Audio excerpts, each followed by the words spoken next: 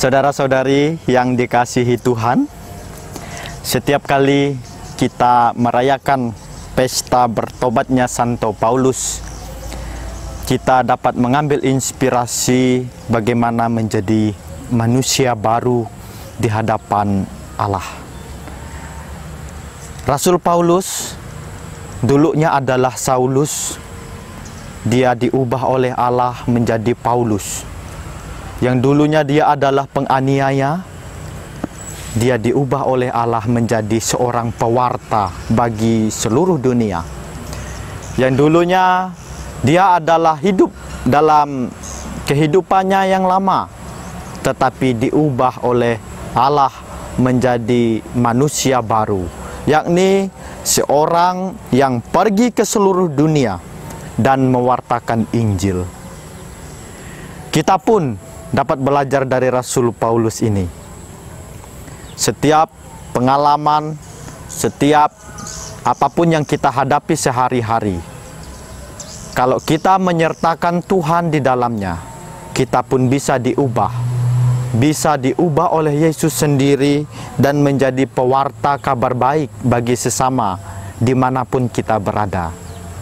Kita ingin agar Yesus sendiri yang tinggal di dalam kita itu terpancar bagi saudara-saudari kita.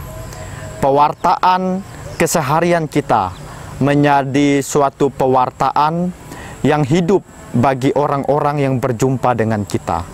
Senyuman yang ikhlas, lalu juga sapaan yang lembut, bersikap ramah, serta hal-hal yang baik, yang sederhana, yang kita tampilkan kepada orang lain menjadi suatu pewartaan tersendiri sebagai orang-orang Kristiani di tengah zaman ini. Kita tidak menjadi manusia cuek, kita tidak tinggal di dalam kedirian diri kita sendiri, tetapi kita hadir bagi orang lain untuk menampakkan wajah Yesus kepada orang-orang yang memang membutuhkan.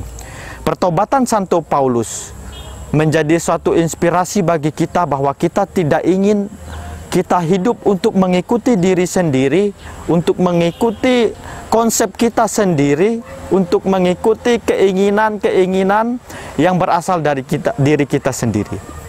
Tetapi pertobatan Paulus menginspirasi kita semua untuk mewartakan kabar gembira kepada banyak orang karena perintah Yesus sendiri untuk pergilah ke seluruh dunia, beritakanlah Injil kepada segala makhluk kita menjadi utusan-utusan Tuhan seperti Rasul Paulus dalam hidup kita sehari-hari, dalam keseharian kita kepada sesama kita dan juga kita menjadi utusan Tuhan untuk terus setia mewartakan Injil kepada saudara-saudara kita yang berbeda dengan semangat kasih yang diajarkan oleh Kristus sendiri kepada kita.